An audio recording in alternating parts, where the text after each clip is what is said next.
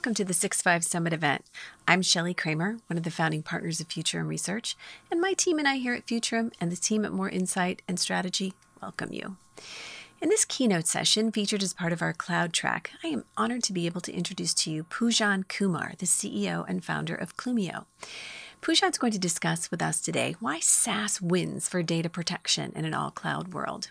Clumio is the innovator of authentic software as a service for enterprise backup.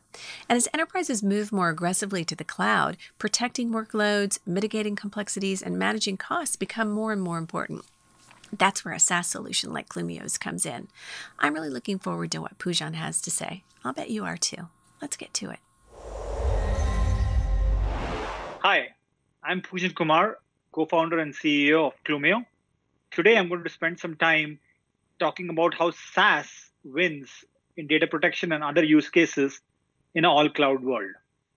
Before I go into this presentation, I want to start off by talking about the big transformation that's happening in enterprise industry as a whole. What has happened over the last decade or so is there is a big shift in enterprises from building applications and infrastructure in the private data center to more and more renting compute and services in the public cloud. And whenever, you know, such a big transformation happens, it creates a big discontinuity in the sector. And that discontinuity arises, you know, new companies that come up with new and innovative solutions to come and solve this problem.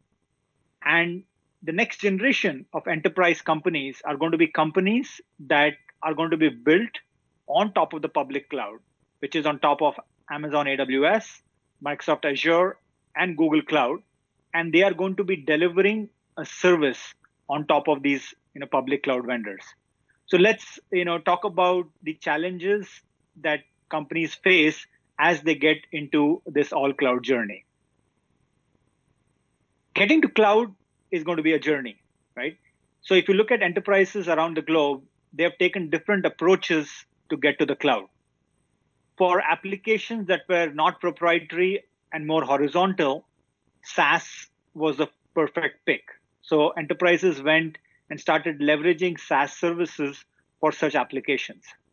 For other applications that were more proprietary, you went and essentially took a lift and shift type architecture where you took the application and moved it to the public cloud in a lift and shift manner. In some cases, you took the application and you rewrote some parts of it so that you could leverage platform as a service, which is PaaS on the public cloud. In certain other cases, you essentially, you know, if you had the luxury to rewrite the application completely, you went and did new development on the public cloud. And over time, you optimized that application in the public cloud. So different routes, you know, possible in terms of taking that application that was completely in the data center into kind of leveraging SaaS, you know, leveraging infrastructure as a service during lift and shift, leveraging platform as a service if you were okay with uh, some form of lock-in with the public cloud, and then building it natively on the public cloud and kind of optimizing it so that you can use the public cloud the right way. And irrespective of the path you took, you have to be very thoughtful about how you moved into the public cloud. We did a bunch of surveys to kind of figure out where enterprises are in terms of their own journey. And as you can expect, the results were in the entire gamut. There were, you know, you know, data that has moved into SaaS applications out there. There's data still sitting in on-premises data centers because of compliance reasons or because of perception reasons around security. There's data that has moved in applications that have been lifted and shifted into the public cloud. And there's data that is in PaaS data sources in the public cloud or in brand new applications, which we call cloud native applications that were built in the public cloud. So now, as you see this, this journey leads to data dispersion, right? Data is going to be everywhere versus what it was maybe 10, 15 years ago, where all data was in the data center in the private cloud. Now, this data dispersion leads to many challenges, and one of them is around data protection. So let's look into the challenges that you have as you have this data dispersion. Number one, hidden costs, right? As you start to solve data protection with data in all of these data sources, and you start leveraging, you know, tools that were not really built for the cloud, you start seeing all kinds of hidden costs in terms of egress costs in the public cloud. You start kind of running software that was running in the private data center. You start running it 24 by 7 in the public cloud, and you start, you know, seeing enormous costs as you start solving data protection. So these are hidden costs that you start seeing because of, you know, solutions that were built for the data center. That's number one. Number two is data vulnerabilities, right? Like in the private data center, you never put your primary data and your backup data in the same storage box. You don't want to do that in the public cloud either, right? And so, kind of putting your primary as well as your backup in, in the form of snapshots in the same account leads to vulnerabilities because now you're exposed in terms of bad actors, you're exposed in terms of ransomware and other such issues. So you need to worry about data vulnerability because you now want to protect the backup data separate from the primary. Number three, security and compliance. As we saw, right, data is now everywhere. So essentially, you now have to worry about being compliant and you need to know about all of your data sources and need to make sure that data is indeed secure, irrespective of where it resides. And lastly, it's about complexity, right? You don't want to be in the business of managing a piece of software yourself across many data sources and really kind of doing it yourself. And in the public cloud world, if you don't take a thoughtful approach, you'll be stuck with doing it yourself, which now goes against the whole premise of moving to the cloud. You didn't want to do it yourself. You wanted the data protection and other such services to essentially you know, take care of themselves and really consume services that solve this problem for you. This is where Clumio comes in, where we come and solve this problem in a multi-cloud world.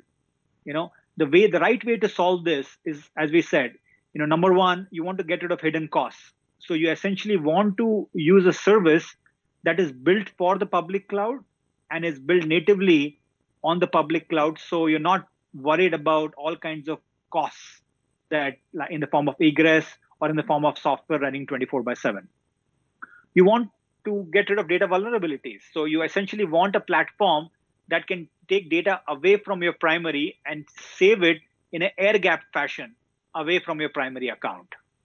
You want a platform that takes security and compliance as a first class citizen right? That posture is very important as the platform is built on the public cloud. And lastly, you want to consume a service, right? You don't want to be in the business of managing this yourself.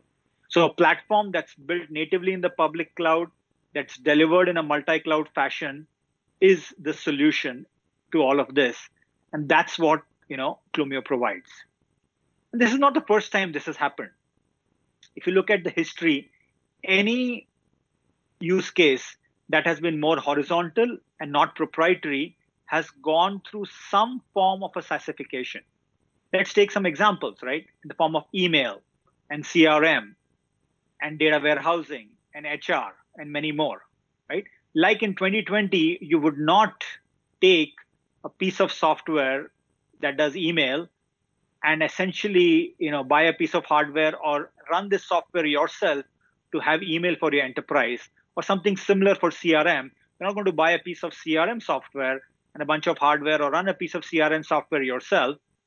Similarly, there is no reason to do this in data protection. Like you would consume Microsoft 365 for email or for that matter, Salesforce for CRM, you want to consume a service to do data protection in this all cloud world also, right? And so that's really what we provide with Clumio. We are providing you a, a way to essentially do data protection in an all cloud world with a service offering similar to what you know salesforce has done for the crm space or snowflake has done for the data warehousing space and so on and so forth and one thing you'll see that every time such a disruption has happened it has happened because a new vendor has come in with this innovative architecture and delivered this offering the only exception to this is microsoft which made the transition successfully with Microsoft 365. But outside of that, you have had a new vendor come in with this innovative architecture to truly deliver this service on the public cloud.